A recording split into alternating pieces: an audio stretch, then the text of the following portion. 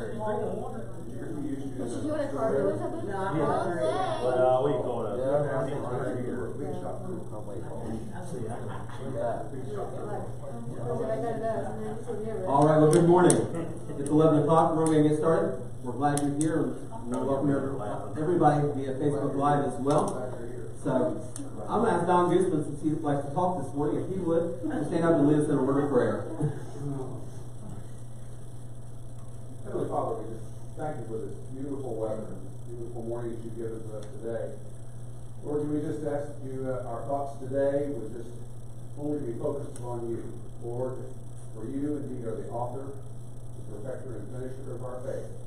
Father God, may we put all else out of our minds, the troubles of the world, and any concerns we might have. Lord, that we might focus today on what you would have to share with us through music, through the message, through our time of worship. We give you all the honor, the glory, and praise. In Jesus' wonderful name, amen. If you would please stand as we do our first song, Victory is You.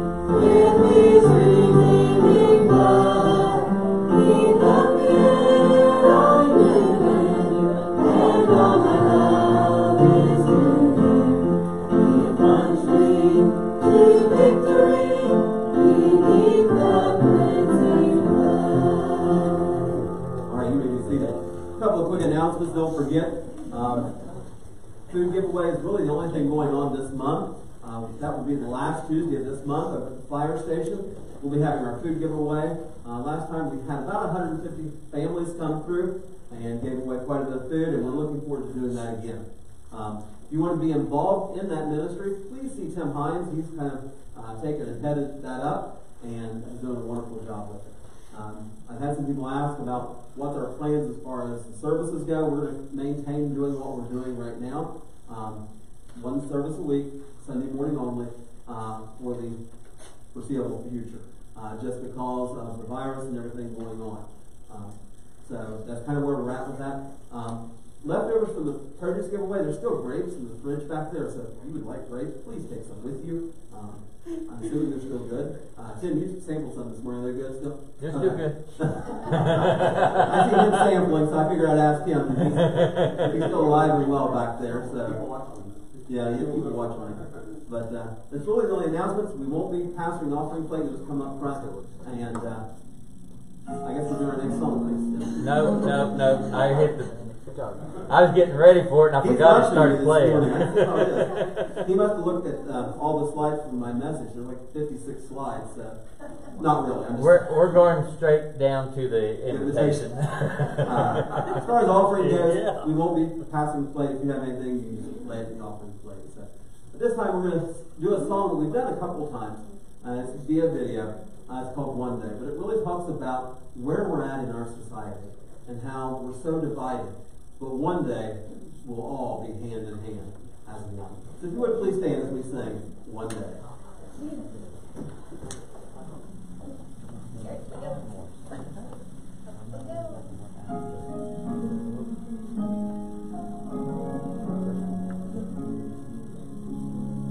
One day there'll be no more waiting left for our souls.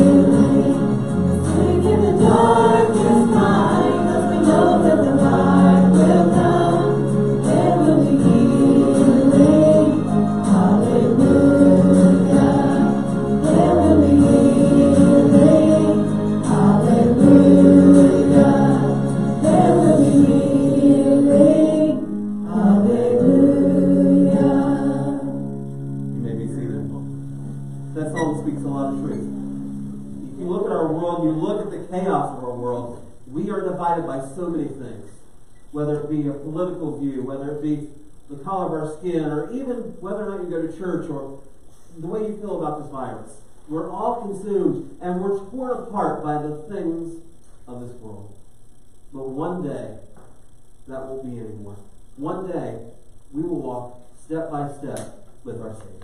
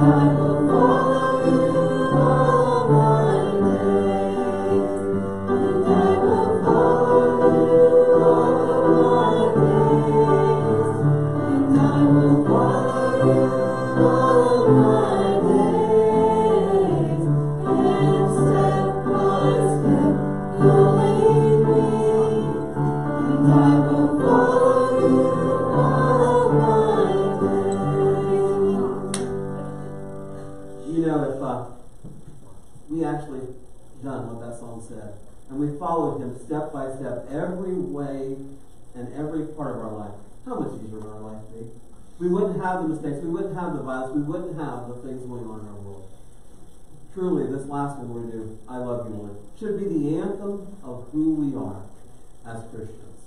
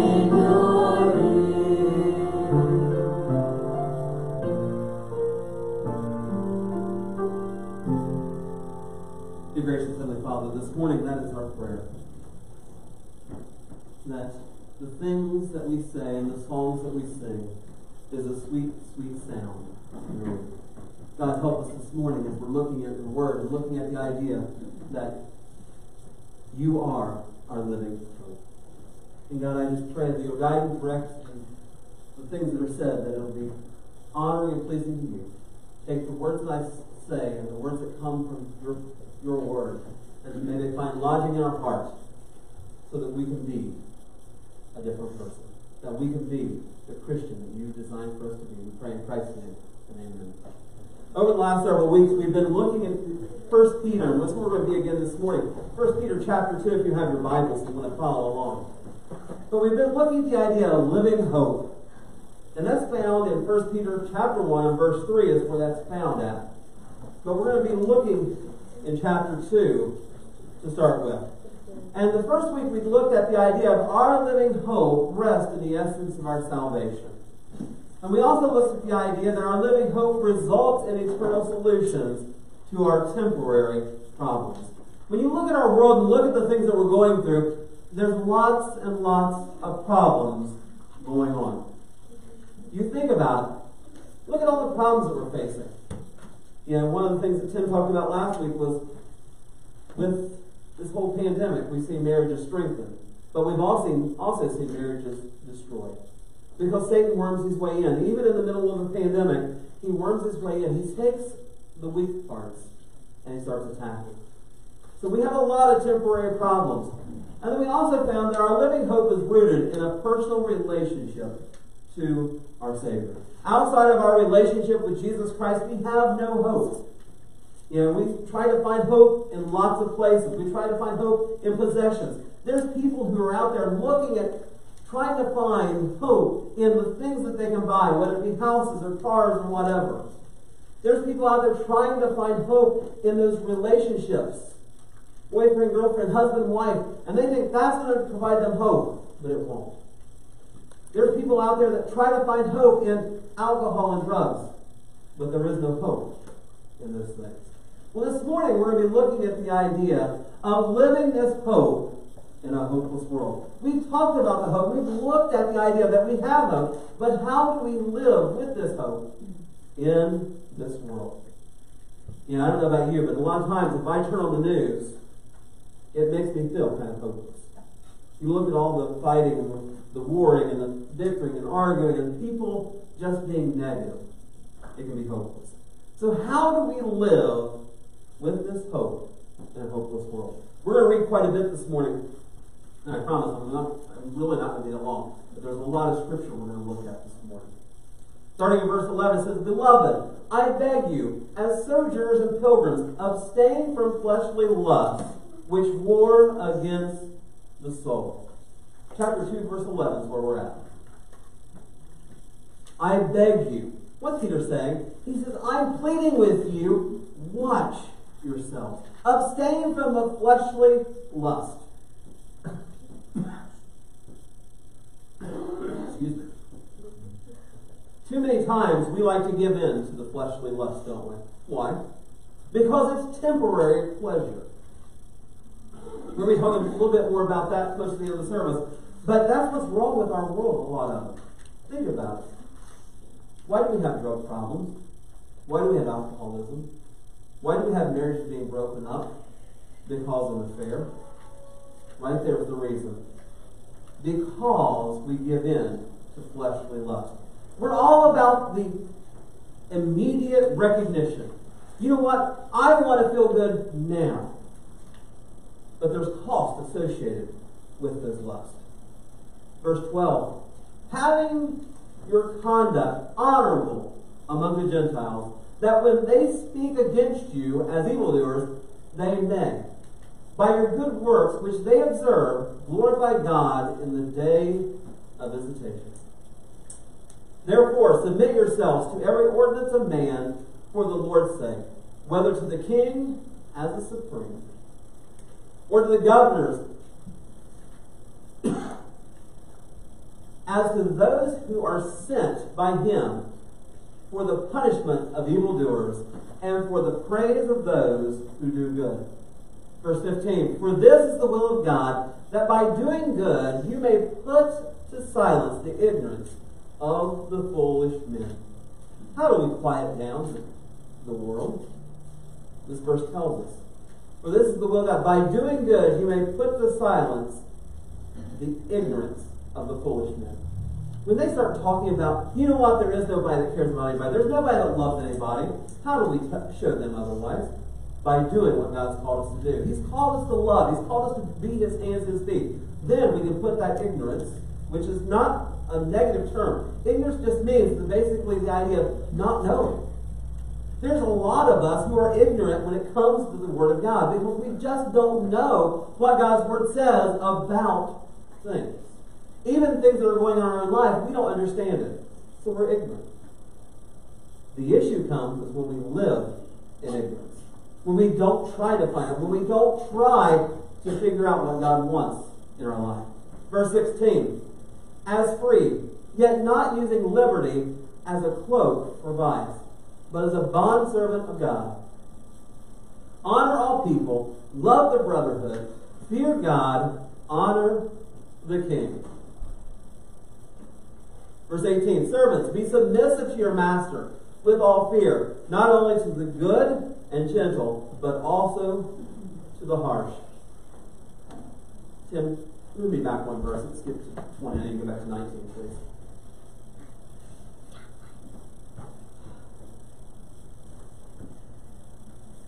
One more. It didn't go line. I need to be on verse 19. For this is commendable. If because of conscience, for, conscience for God, one endures grief, suffering wrongfully.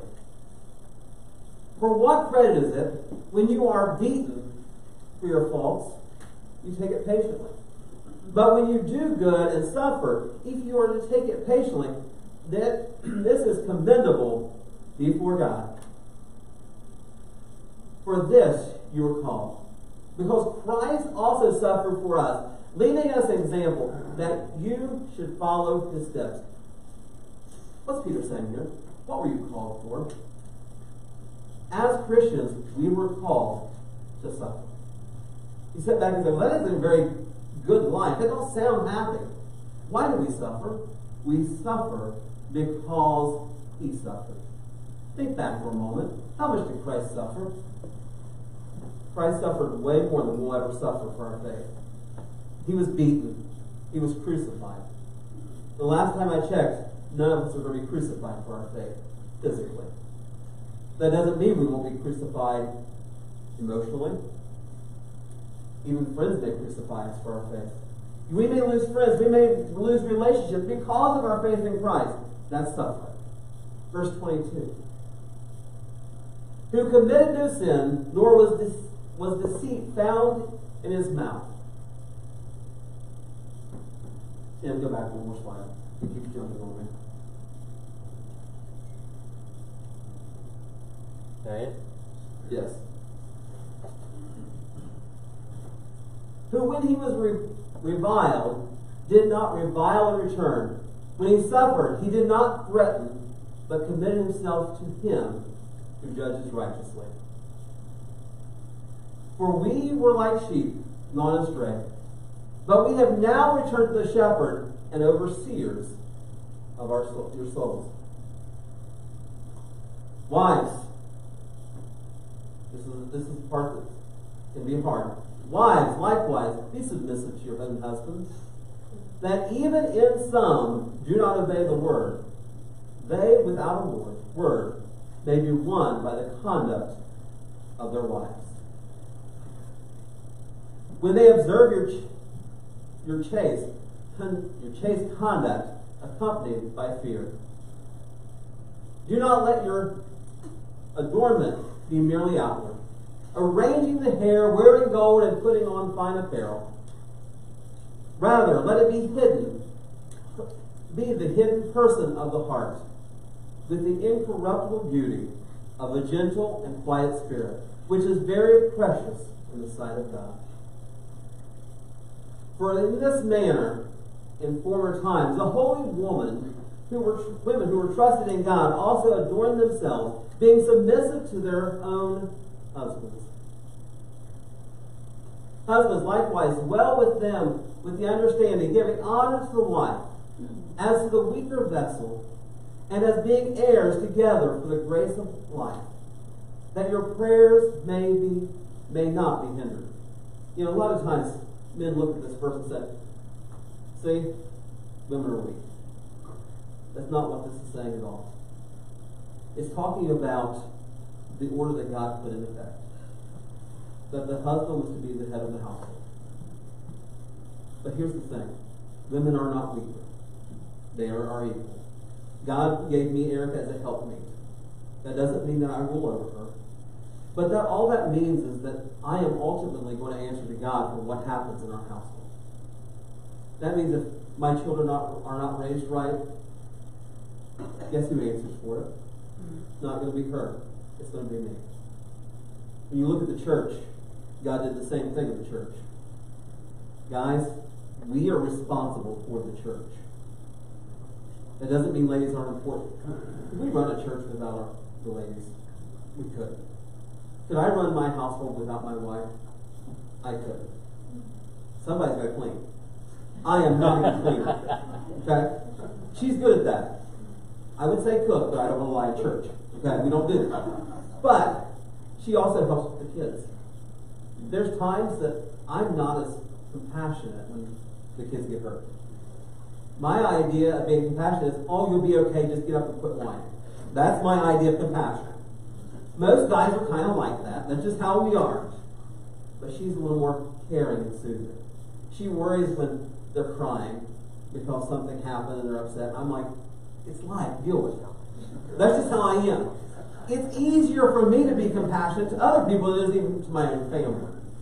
But, verse 8, finally, all of you, be of one mind, having compassion for one another, love as brothers, be tenderhearted, be courteous. Wow. Isn't that a stark difference between what we see in our world today and what God's telling us to do? How much, how much love is being shown? How much like mindedness is being shown? Even in churches, sometimes you don't have that. Not returning evil for evil, or revealing or reveling for reveling, but on the contrary, blessing, knowing that you are called to this, that you may inherit a blessing. Let him turn away from evil and do good. Let him seek peace and pursue it. For the eyes of the Lord are on the righteous, and his ears are open to their prayers, but the face of the Lord is against those who do evil. You look at all that scripture, you say, we're going to be here forever. And I promise we won't. Five groups identified by Peter. There's five groups that we see that we have to do this thing called living in hope with. What are these groups? Number one, the unbelievers. As Christians, and as we're living through this life, people are watching us. We're going to be in the middle of unbelievers. Think about it. When I go to work, or I go to Walmart, what am I surrounded by? I'm surrounded by unbelievers. I'm surrounded by those who do not know who Christ is. Is that a good thing? It is a very good thing, and it's a very bad thing. You sit back and say, how can it be both? It's a great thing because if I'm not surrounded, if I'm not in the world, how am I ever going to share Christ with anybody? If I'm just surrounded by my Christian friends and people who go to church, I have no opportunity to share the love of Christ and share the hope that I have. But it can also be a bad thing. Because if I'm only surrounding myself with these people, then I'm going to be drawn away from Christ. So there has to be a balance. We have to be in the world, but not of the world. So we're surrounded by unbelievers. The second group we're going to, we see is human authorities such as government. In today's society, there is such an uprising over government. It doesn't matter whether we're Republican or Democrat, because we are told that we are to render unto Caesar what is Caesar. What does that mean? That I need to be obedient to what the government says. When you walked in this morning, we ask that you have masks on. Is that because I didn't want to see your face? Some of you, yes. Don, yes, I didn't. But you know what? What it is, is our governor said that if you're going to be up and about, if you're going to be in a, in a setting like this, then he asked for us to wear masks. We're, we're doing what he's asked. We took your temperature. We're doing all the precautions of what the governor has asked. Does that mean that we like them? No.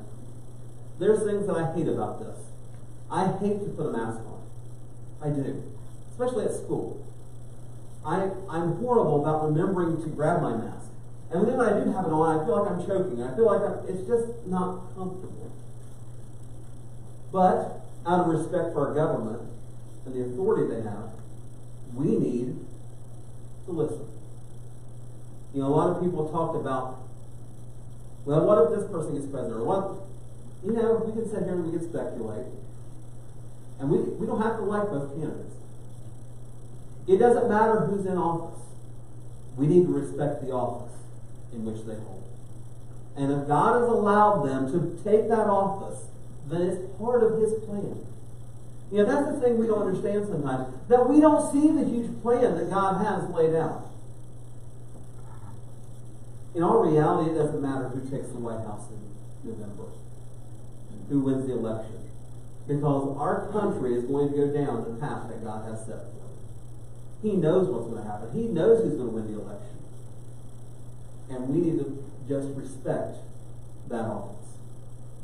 Number three is the everyday relationships, such as work.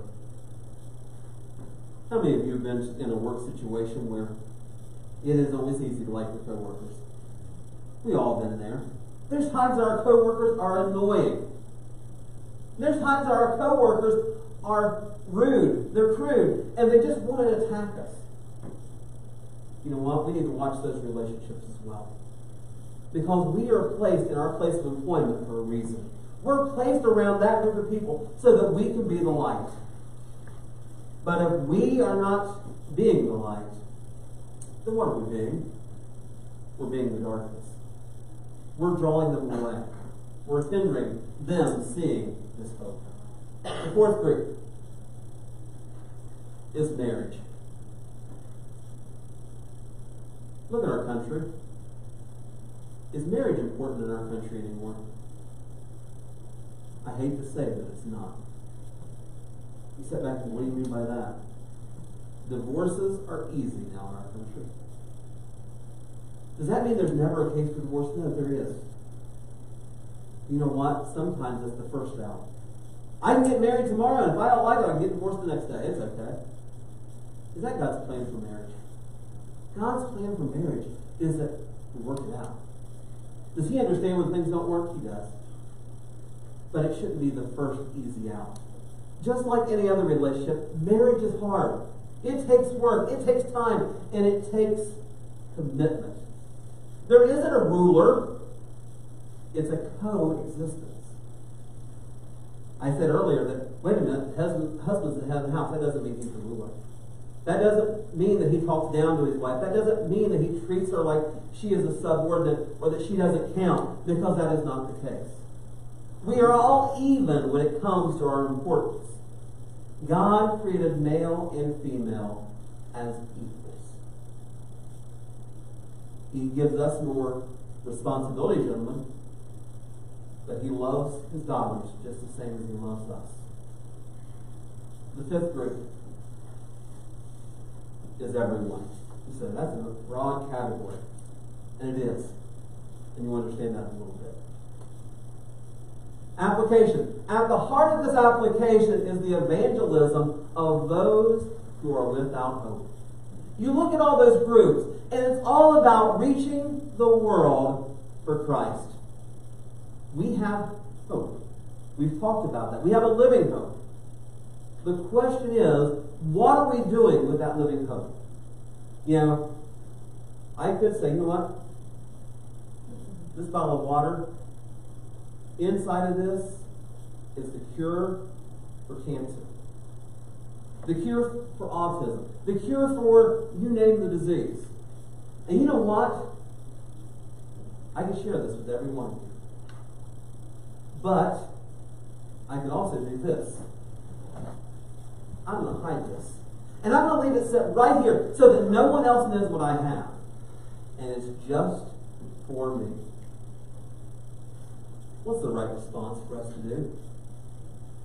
The right response is for me to get this out and give it to everyone I can give it to. You say, well, eventually you'll run out. Yeah, that's a small container. But when we're talking about the hope of God and the hope for eternity, when does it run out? It never runs out. According to Scripture, Christ welcomes everybody to repentance. He wants everybody to have the same hope that we have. But the issue is we're greedy with it. We don't give it out. We're scared. We just want to hold on to it for ourselves. Shame on us as Christians. We need to start giving that hope to others. We need to start sharing that hope and sharing the, good news of Jesus Christ with everybody we come in contact with. You sit back say, Pastor, you don't understand. I just can't talk to people about that. You don't have to say a word sometimes. You just have to be willing to make an impact in their lives. Invest in people. Why do we do what we do? Because I feel it's important that we invest in people. A heart, at the heart of this application, is the evangelism of those who are without hope. How many people do we know today that are without hope? Just look around you. There are tons of people in our community, right here in Beaver, that don't have hope. They may not even realize they don't have hope because they don't understand their need for the Savior. It is our job as a church. It is our job as individuals. It is my job as a pastor to equip you that you go out here and you share that hope with the people. Our example is Jesus Christ. Think about it for a moment. What did he give up for you? He gave up everything. He gave up heaven for you. The great thing is, he would do it again in a heartbeat. Why? Because he loves you that much. And we are to use him as our example. That means we should love each other as much as he loved us. How different would our world look if we loved each other that way? Did he come to be served? No. He came to serve. We think we're here so people can serve us. You what? That church over there, it's up to them to make me feel good when I come to church. That isn't our goal to make you feel good. Our goal as a church is to make sure you understand God's Word and what He wants for your life. Is there going to be times it's going to feel good? There are times it's going to feel good, but there's also times that it's going to hurt. Because God's going to show you something that you need to change in your life that you're not doing the right way. And He's refining, making you who He wants you to be. Our example. So what? We need to count the hidden cost of your actions or my actions. What do I mean by hidden cost? How many of you, you see this ad, cell phone bill, you can, you can have a cell phone service with this and this and this for $49.99. Then you get your first month bill, and it's $113.99. Well, there's all these costs involved. What do I mean by cost? There's the tax, there's connection fee, there's this fee and that fee. Wait a minute, you said it was this. Well, these were hidden costs. And we, we just came back from Tennessee, and you, know, you look on the internet, and this, this cabin is $1,000 for a week. Sounds like a great deal. Seven days, oh, that's a great deal. But the next thing you know, there's a cleaning fee, there's a firewood fee, there's a everything fee. That adds up quickly. Pastor, what does that have to do with what you're talking about? We talked about hope and finding hope. Sometimes we look for hope in the wrong places. Too many times we look for hope in a relationship when the relationship isn't really meant to be. Say, well, what kind of what kind of hidden cost is there with that? How about the hidden cost of emotional abuse? How about the hidden cost of physical abuse? You say, well, okay, I'm not in that. How many times do we look for hope in a bottle? You look at our, our community even here. Alcoholism is huge. And we step back and say, you know what? It's not a big deal. I'm not hurting anyone. There's hidden costs associated with that. All it takes is one too many drinks getting behind the wheel, and there's cost. And the thing is, even once you break that, there's costs that keep happening. Because people associate you with what you used to do. Drugs. There any hidden cost to drugs? Oh, you know what? I'm a teenager. It ain't no big deal. I can just try it just this once. Yeah, you might be right. It may only be once. But the thing is, what's in your head? You know what? I don't remember how that made me feel. I'm not feeling good today. I'm down. I'm out. I'm going to go back to that. There's always hidden cost to everything. The question is, what do we do with it? There's only one thing that I know that there's no hidden cost with, and that's relationship with Jesus Christ. He is very upfront and knowledgeable one tells us that, you know what? When you accept me as your Lord and personal Savior, there's going to be some great times. There's going to be times that you're going to love it, but there's also going to be times that you're going to be faced with trials. There's going to be times that it's going to be hard. But the great thing is, when I when you're going through those tough times, when you're going through those hard times, you're not alone. Because I'm going to be there with you. I love the passage It says that no temptation has taken man. No temptation has Corinthians ten thirty. Yes. It just lost my mind that quick. Uh, no temptation is taken you, but such is common to man. But with every temptation, he will make a way of escape. And you think about it and say, what do you mean a way of escape? How do I get out of the temptation? How do I get out of this? Think back with Joseph for a minute. Potiphar's wife looked at Joseph. He was a nice looking young man. And she had the desire to sleep with him. And he knew what she was doing. And he's like, no, no. But she wouldn't take no for an answer. So she grabs him and tries to seduce him. And what's he do? He runs out of his place to get away from her. Christian, when's the last time we ran from sin like that? A lot of times we don't. We say, you know what? It's okay. It's not going to hurt anything. Nobody's going to care. I beg to differ. God does care when we sin. God does worry about it. That's important to Him. So what? What's the hidden cost? Hidden cost is one day we're going to answer for everything we've done. We're going to answer for how we treated our mate. We're going to answer for the lies we told. We're going to answer for the people that we didn't share Christ with. Sad reality is, one day it will be okay. But we will answer for everything that we've done. Matthew 16, 26. For what profit is it to a man if he gains the whole world and loses his own soul? Or what will a man give in exchange for his soul? You know, a lot of people are giving in exchange for their soul that temporary pleasure of that relationship they shouldn't be in. That temporary pleasure of that drink, or that temporary pleasure of that drug, or that temporary pleasure of getting that possession that you just have to have. What does it profit a man if he gains the whole world? You know, I don't care what we own. I don't care what money you have in your bank account. I don't care what kind of relationship you have.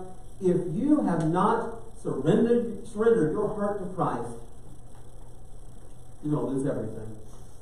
Because when I pass from this life into the next, I can't take my bank account with me. I can't take that relationship with me. I can't take that house with me. It's left. There's only one thing that I can take with me when I pass into this life into the next, and that's my soul.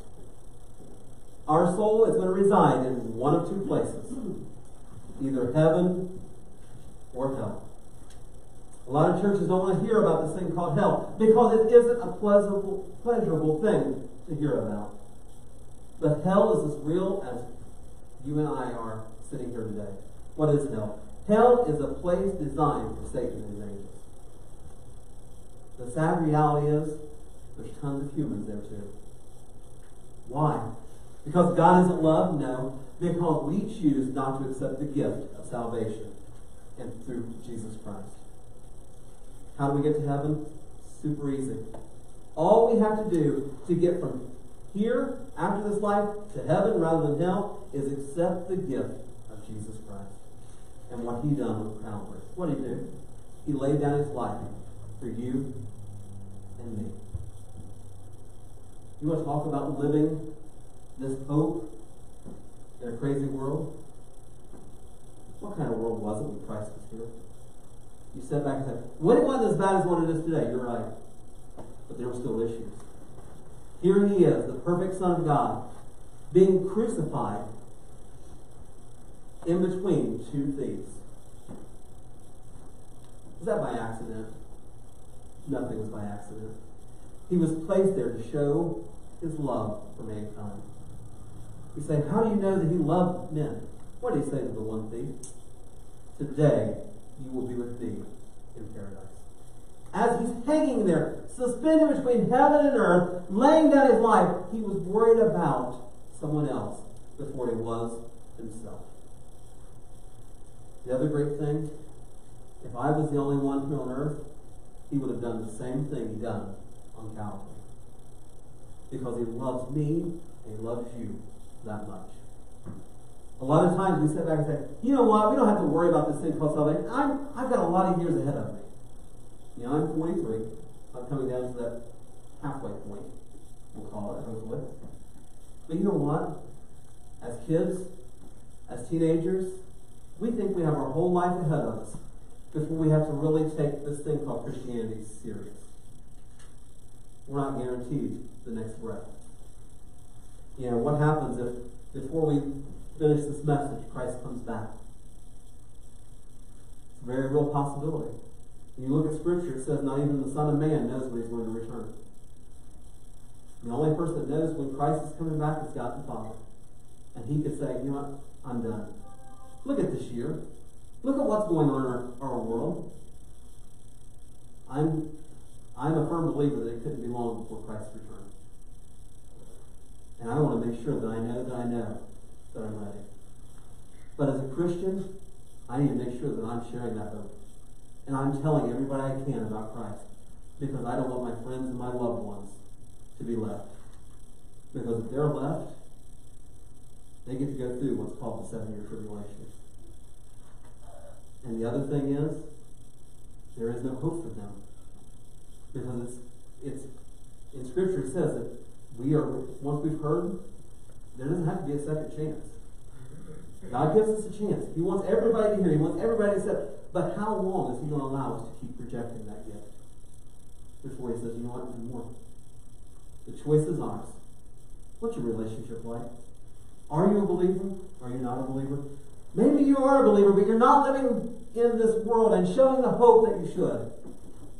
This morning, let's get our priorities right.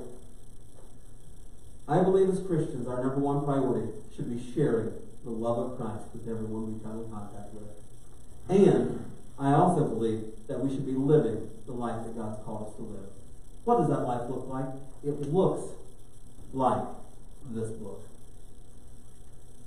I can't give you everything that's in this book in 20 minutes on Sunday morning. It's important for you to dig in this book. It's important for you to get in this book and read. Is it hard to understand? There's things in there that are very hard to understand. There's things in there that I have no clue what they mean.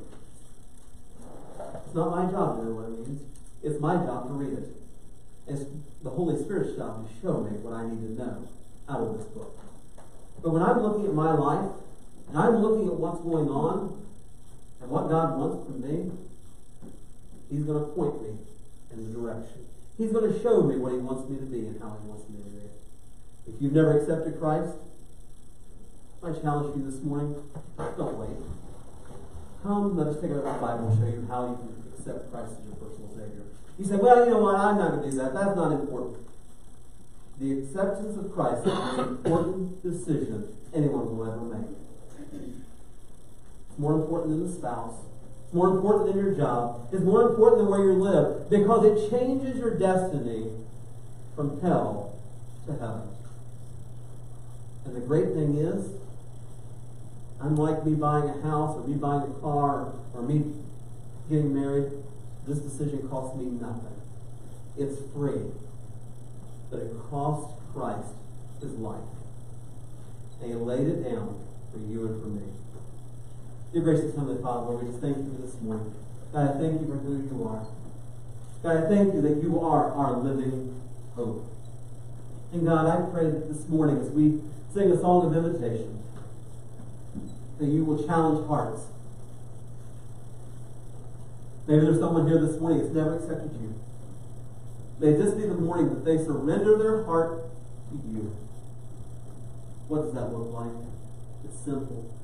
You don't ask us to get better. You don't ask us to change. You ask us to come just as we are and lay down our life and give it to you and accept you as our King and our Savior. Maybe there's someone here this morning that their priorities are all messed up. And they're not living this hope the way they should be living. Challenge their hearts. Make them understand that this thing called life is serious. And that you've placed us here for a purpose. And that you want us to be your light. God, my prayer for us as a church is that we just won't live this, this living hope, but that we will live it the way you designed for us to live it. And that we're sharing it every single moment. God, I pray that you'll guide and direct this invitation.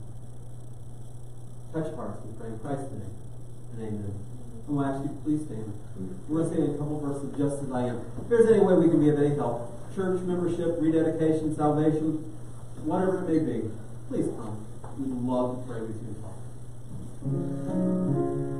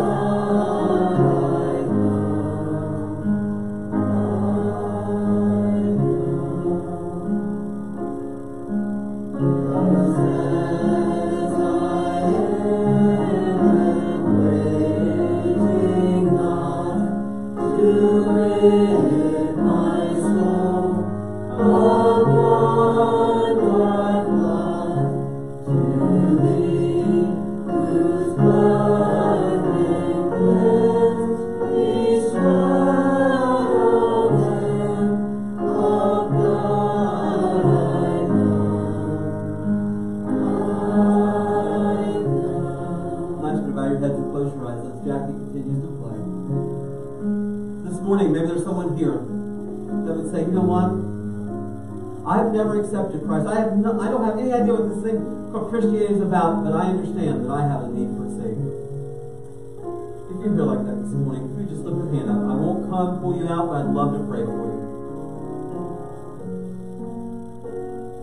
Maybe there's someone here this morning that say, you know what? I'm not living the life that God has called me to live. And you know what? I need to start sharing this hope. I need to start sharing what God has given me with others. God has challenged me this morning to pray for me as I endeavor on this. You we just lift your hand up right back down?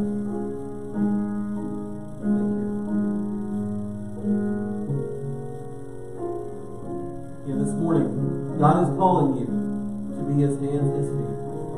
What will you do with that call? David, if you would dismiss us in